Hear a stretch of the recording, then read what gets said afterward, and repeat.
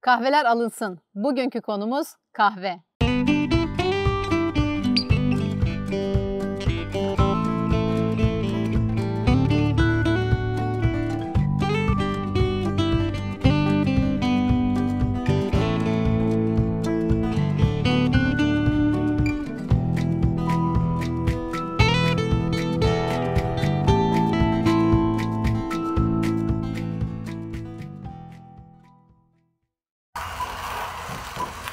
Kahve, tarihi çok eskilere dayanan ve farklı kültürlerde, farklı şekillerde karşımıza çıkan bir içecek.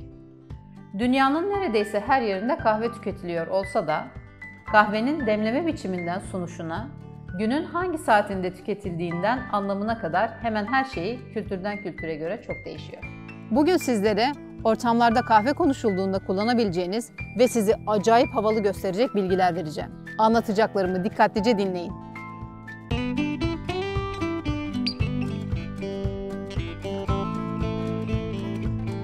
Bir kahve dükkanına girdiğinizde paketlerin üzerinde Kenya, Java, Guatemala, Brezilya, Etiyopya yazdığını görürsünüz. Bunlar kahvenin yetiştiği ülkeyi ifade eder. Kahvenin nerede yetiştiği onun cinsine ve tadına etki ediyor. Kahvenin yüksek rakımda veya düşük rakımda yetişmesi, ülkenin iklimi, kahvenin yetiştiği bölgenin aldığı rüzgar, çevrede yetişen diğer bitkiler ve benzeri her şey kahvenin tadına etki eder. Bu yüzden her kahve içtiğinizde farklı bir ülkenin çekirdeğini deneyin ki hepsinin tadı hakkında bir tecrübeniz olsun.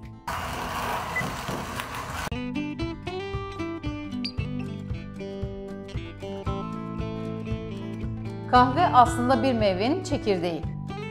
Ağaçtan meyveler toplandıktan sonra ya güneşte bekletilerek ya da suda bekletilerek çekirdekler meyveden ayrıştırılır. Daha sonra ayrıştırılan çekirdekler güneşte kurumaya bırakılır.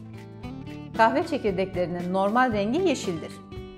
Bunların içime hazır hale gelmesi için kavrulmaları gerekir.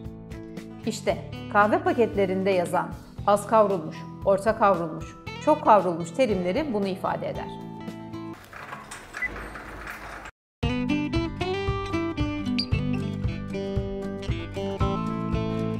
Kahve çekirdekleri Arabica ve Robusta olarak ikiye ayrılır. Arabica çekirdeklerin kafein oranı %1 ile 2 arasında değişirken Robusta çekirdeklerin kafein oranı 3 ile 4 arasındadır. Bu yüzden Arabica çekirdekleri hem daha lezzetli hem de içimi daha yumuşaktır. Bir paketin üzerinde %100 Arabica yazıyorsa güvenle alabilirsiniz.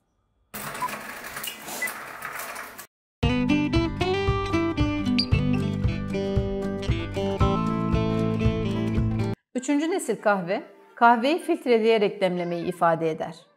Yani moka potlar, Chemex'ler, French press'ler, V60'ler bunların hepsi üçüncü nesil kahve demleme aparatlarıdır. Bu türde kahvelerde kahvenin çekirdeğinin kalitesi, menşei, ne kadar kavrulduğu gibi hususlar çok önemli. Çünkü bunların hepsi kahvenin tadına direkt olarak etki ediyor. Bu yüzden mesela bir kafeye gidip espresso istediğinizde hangi çekirdeği tercih ettiğinizi söylemezsiniz. Ama V60 istediğinizde çekirdek tercihinizi mutlaka belirtirsiniz. Kenya veya Guatemala gibi.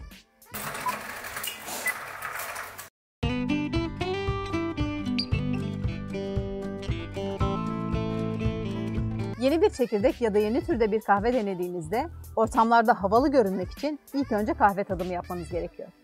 Şöyle ki, diyelim ki kahveniz geldi. Dumanı üstünde çok lezzetli bir kahve. İlk önce kahveyi kokluyoruz. Çok güzel kokuyor. Sonra küçük bir yudum alıp ağzımızda bekleterek tadına bakıyoruz. Bundan sonra kahve ile ilgili küçük bir yorum yapabilirsiniz. Mesela hmm, meyvemsi bir tadı var gibi. Sonra kahvenizi içmeye devam edebilirsiniz.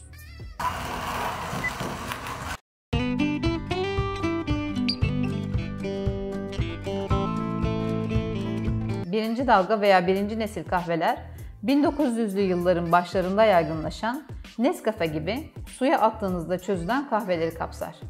Bunlar kahve değildir. Çünkü gerçek kahveyi suya attığınızda suda çözülmez. Bunlar kahve aroması içeren çeşitli karışımlardır. Bu yüzden gerçek bir kahve sever asla Nescafe içmez. İkinci nesil veya ikinci dalga kahveler 1960'larda yaygınlaşan espresso bazlı kahveleri ifade eder. Bunların hepsinin temeli espressodur. Yani bu Cafe Nero'larda ve Starbucks'larda içtiğimiz kahvelerin hepsi ikinci dalga kahvelerdir. Espressoya su katarsınız americano olur. Süt katarsınız latte olur. Süt artı süt köpüğü katarsınız cappuccino olur.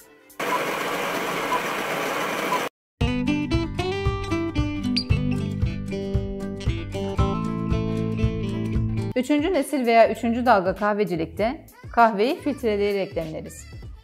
Bunun için geliştirilmiş bir sürü araç var. Bunlardan en yaygın olanları V60, Chemex, Dripper, French Press, American Press ve Kalita.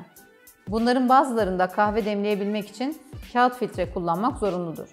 Bazıları ocakta pişer, bazıları direkt olarak sıcak suyla demlenir. Kahve ile ilgili merak ettiğiniz konularda videolar gelmeye devam edecek. Gelecek videoları kaçırmamak için kanalıma abone olmayı unutmayın. Sevgiler.